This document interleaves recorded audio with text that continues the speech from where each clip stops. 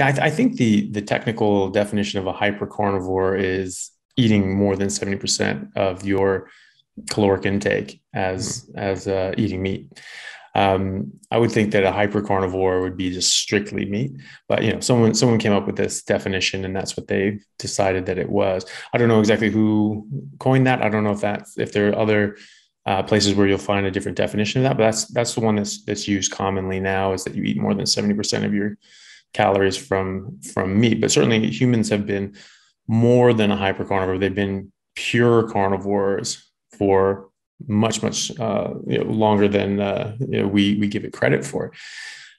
The you know the evidence for this is, is quite robust. You know we have the the stable isotope studies, which really just show exactly what these animals were eating from the from you know sampling uh, the, the the the stable isotopes that that exist in their bones and the fossils, and finding that our ancestors that you know Homo sapiens, early earlier Homo sapiens, and other uh, human species such as Neanderthal, that they had they were they had a higher carnivore rating than even other carnivores alive at the same time, like lions, hyenas, wolves, foxes, as well. So you know that means that we were eating those carnivores as well so that that's that's the definition of being an apex predator being top of the food chain I mean you eat anything below you you you will eat any animal anything that comes that's dumb enough to get close to you, you know, you're going to take down. And we were very, very good at this. You know, we took down, you know, we we made a lot of uh, species, hunted them to extinction, probably. Um, and so, you know, it's uh, it was something that we were very, very successful at. And you know, this was long before commercial fishing and and farming hunting practices.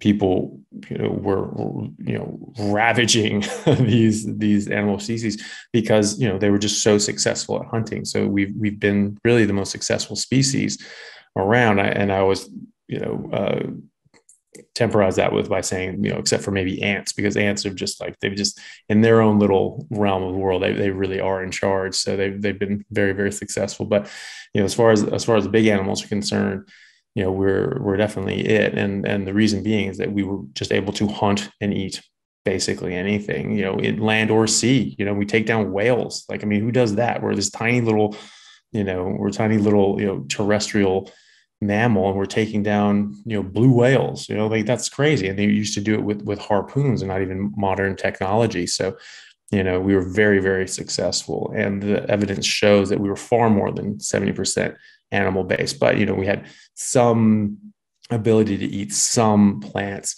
during times of starvation and extremity you know but that that was during times of extremity. You know we didn't need to do that all the time. And when we didn't need to do that we didn't do that. And you know, we even see this in in more modern societies where the you know people that are more poor and impoverished they would tend to be eating more more grains and plants to flesh out their meals whereas people that were more wealthy they were eating meat you know meat was always the desired food. So this is you know it's only very recently that people have started arguing that meat isn't actually as healthy. Everyone's known uh, for a long time just through through personal results that you know this is this is the most uh, so you know the most beneficial nutrient